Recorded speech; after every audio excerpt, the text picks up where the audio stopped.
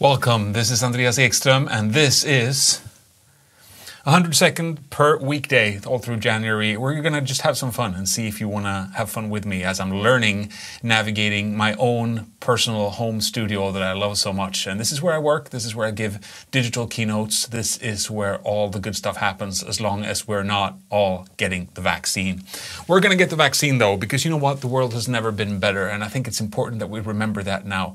I'm often going to be critical of the development of the world. That's the role of a culture critic, right? That's the role of a futurist. It's not to say that everything is going to be amazing and fantastic and parades and presents ever after. That's not what I'm here to do. I'm a reporter. I'm here to ask the difficult questions together with you. And that's what we're going to do for 20 episodes of this all through January as well.